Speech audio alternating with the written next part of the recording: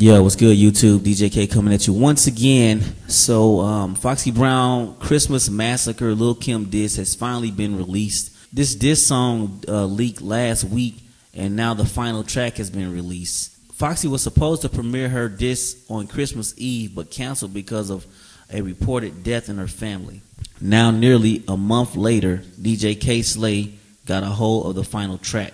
To hear this track, check out the link in the description box, and I'll see y'all on the next video. I'm out.